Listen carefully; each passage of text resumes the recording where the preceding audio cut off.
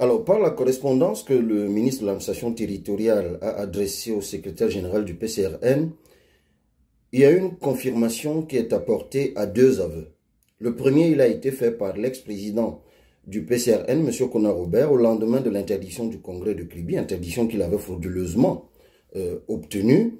Il avait dit dans une conférence de presse que toutes les dispositions et toutes les mesures seraient prises pour m'empêcher d'être candidat à l'élection présidentielle dont il fallait me priver du PCRN, du contrôle du PCRN, qui avait des élus, donc parti susceptible d'investir à une élection présidentielle. Le deuxième aveu, c'était récemment sur les ondes d'une radio, aveu dans euh, lequel il disait clairement qu'il agissait avec la caution, l'autorisation, la permission et l'encadrement du ministre de l'administration territoriale. Mais à la vérité, la correspondance en question est juste absurde.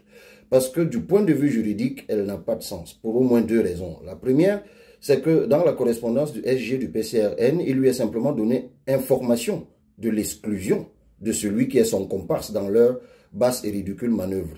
Et la deuxième raison, c'est que aucune disposition de la loi de 90 qui régit les partis politiques ne donne pouvoir et compétence au ministre de l'administration territoriale de prendre acte de quoi que ce soit de ce qui se déroule dans euh, le quotidien des partis politiques au Cameroun. Sinon, on serait dans un recul de 20 ans, voire 30 ans, et on serait dans un pays autoritaire où euh, c'est le ministre de l'administration territoriale qui décide de qui est militant, de qui ne l'est plus. Donc, c'est tout simplement ridicule. Mais moi, je voudrais leur dire, parce qu'on n'est pas dupe, on n'est pas naïf, on sait ce qui se fait.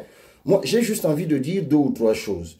À tous ceux qui euh, sont derrière ce ministre-là, ceux-là à qui il sert de parure, parce qu'on les a tous identifiés, je voudrais leur dire que si le peuple camerounais me choisit pour être candidat à l'élection présidentielle de 2025, ils ne pourront pas l'empêcher. Si le peuple camerounais me choisit comme président de la République du Cameroun en 2025, ils ne pourront pas l'empêcher et ils le verront de leurs deux yeux. Qu'ils sachent simplement que euh, le ridicule dont ils ont commencé à faire, si, j'ai envie de dire, salement et bassement étalage ne préfigure à la vérité que leur inévitable chute.